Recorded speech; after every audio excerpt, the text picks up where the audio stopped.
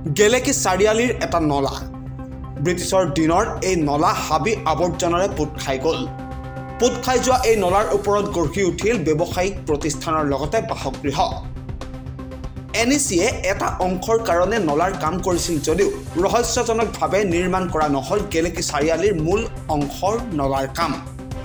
যাৰ বাবে প্ৰত্যেক বছৰে কৃত্ৰিম বানত ডুব যায় গেলেকীৰ কেইবাটাও শৈক্ষিক প্ৰতিষ্ঠানৰ লগতে ঘৰ বাৰী আৰু দৈনিক বজাৰ। সকলো দেখি শুনিও নীৰৱ ভূমিকা পালন কৰি আছে নাজিৰা মহকুমা প্ৰশাসনে। কিয় চাফ চিকুণৰ লগতে মুকলি কৰিব পৰা নাই এই নলাটো? কি ৰহস্য আছে ইয়াৰ আঁৰত? বিভিন্ন সময়ত স্থানীয় ৰাইজে এই বিষয়ত দাবী সম্মিলিত স্মাৰক পত্ৰ প্ৰদান কৰি আহিছে যদিও কাণসাৰ নাই প্ৰশাসনৰ। যি সময়ত চৰকাৰে দখলকাৰীৰ ওপৰত ব্যৱস্থা গ্ৰহণ কৰি আহিছে সেই সময়তে গেলেকী মূল চাৰিআলিৰ পথৰ কাষৰ নলা মুক্ত কৰিব পৰা নাই চৰকাৰ তথা প্ৰশাসনে। কেৱল দুখীয়াৰ দখলৰ ওপৰতহে শক্তি প্ৰদৰ্শন কৰে নেকি বিজেপি নেতৃত্বাধীন চৰকাৰখনে?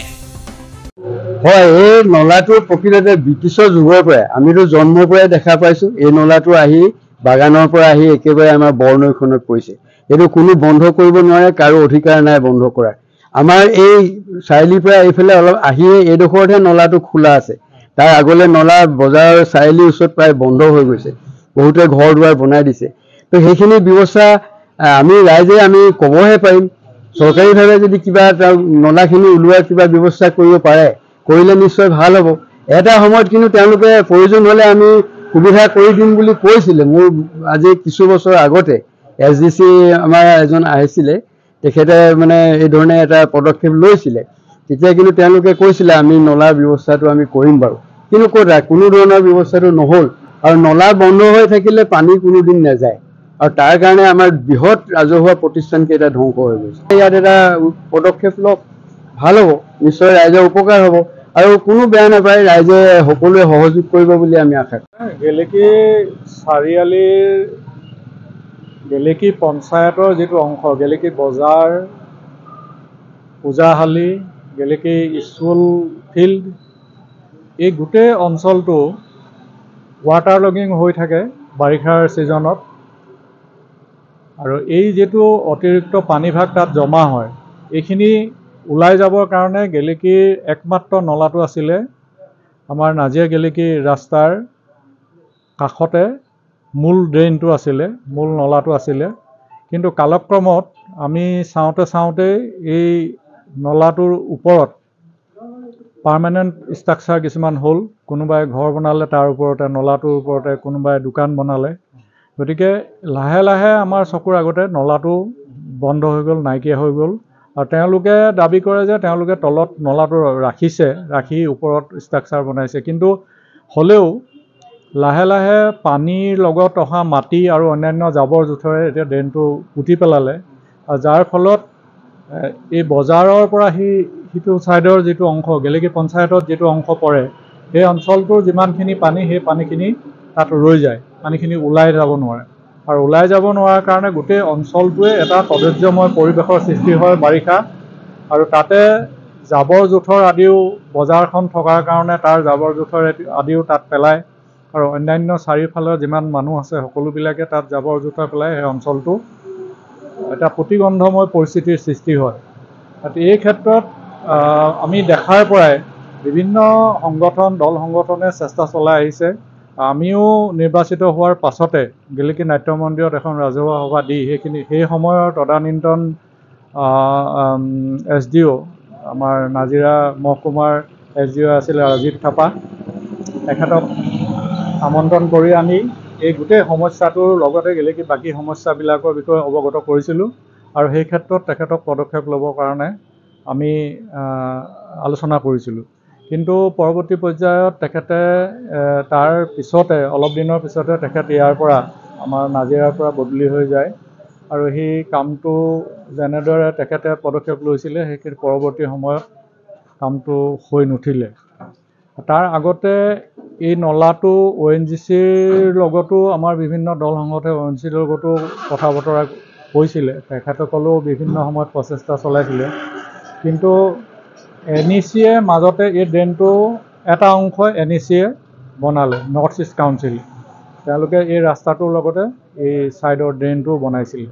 কিন্তু আমাৰ বৰ্তমানৰ পোষ্ট অফিচটো য'ত আছে বা বেংকটো য'ত আছে সেইখিনিলৈকে এন ই চিয়ে বনোৱা ড্ৰেইনটো আছে। আৰু সেইখিনিলৈকে আমাৰ অসুবিধাটো নাই। সেইখিনিৰ পৰা পানীটো আহিব পৰা ব্যৱস্থা আছে। কিন্তু তাৰ আগৰ পৰা চাৰিআলিলৈকে। এই অংশটো ইতিমধ্যে পোত গৈছে আৰু তাৰ কাৰণে পানীভাগ অতিৰিক্ত পানীভাগ ওলাই আহিব নোৱাৰে। আমাৰ আটাইতকৈ প্ৰয়োজনীয় এই মূল নলাটো যেতিয়ালৈকে আমি কৰি ল'ব নোৱাৰোঁ যেতিয়ালৈকে মুকলি কৰি ল'ব নোৱাৰোঁ তেতিয়ালৈকে আমাৰ যিটো পানী জমা হোৱা গেলেকী চাৰিআলি গোটেই কদৰ্যময় পৰিৱেশটো আমি সমস্যাটো আমি সমাধান কৰিব নোৱাৰিম। গতিকে আমি আপোনালোকৰ জৰিয়তে আমি আমাৰ প্ৰশাসন প্ৰশা আমাৰ সাধাৰণ প্ৰশাসনৰ দৃষ্টিগোচৰ কৰিব বিচাৰিছোঁ যে তেখেতসকলেও যাতে ইয়াতে গুৰুত্ব আৰোপ কৰি এই আমাৰ গেলেকীৰ বহুদিনীয়া এই সমস্যাটো সমাধানৰ কাৰণে তেখেতলোকৰ আমাক সহায়ৰ হাত আগবঢ়ায়। তাতে দুটা দুটা অংশ আছে। মই মই যিমান দূৰ জানো এতিয়া গেলেকী পঞ্চায়তত যিটো অংশ পৰিছে সেই অংশটো এটা সময়ত এটা এটা এটা অংশ বজাৰৰ গেলেকী বজাৰৰে এটা অংশ আছিলে। কিন্তু সেইটো এনক্ৰচ হ'ল তাতো দখল হ'ল। আৰু এতিয়া মূল যিটো নলা গেলেকী পঞ্চায়তত যিডোখৰ পৰি যিডোখৰ যিটো যিটো অঞ্চল পৰিছে যি নলাৰ যিটো অংশ পৰিছে সেই অংশটোত মই যিমান দূৰ জানো সেইটো এইটো আগৰ আছাম কোম্পানীৰ মাটি আছিলে। পিছত গেলেকী আমাৰ মুদিনগৰ বাগিচাৰে মাটি আছিলে। কিন্তু তাতে ৰাইজে দখল কৰি যিসকলে দোকান পোহাৰ দিছিলে তেওঁলোকে দখল কৰি সেইখিনি ইতিমধ্যে তাৰ ওপৰত ঘৰ বাৰী বনালে। আৰু গেলেকী যিটো নপামবাৰতে অংশত যিটো কৰে তো এইখিনিত আহ, তেওঁলোকৰ তেওঁলোকৰ স্থায়ী মাটি মানে পটাৰ মাটিয়ে হয় কিন্তু হ'লেও নলাটো তেওঁলোকে আচলতে ব্যৱহাৰ কৰিব নালাগিছিলে। নলাটো এটা সেইটো সেইটোতো তেওঁলোকৰ মাটিৰ ভিতৰত যতদূৰ সম্ভৱ নপৰিব তেওঁলোকৰ পটাৰ ভিতৰত।